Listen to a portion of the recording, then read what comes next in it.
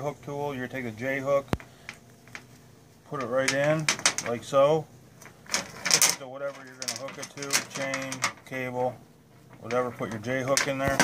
Then you, so you got a groove here, a groove here.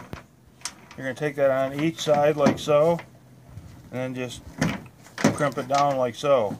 The reason the J hook tools work good um, rather than fencing pliers or something, is you can take the two points here on each side, put it right in the J hook, open it back up to get whatever you, your drag off or whatever. So they work real good, and you were asking how to, a guy was asking how to uh, use them, and that's how you use them.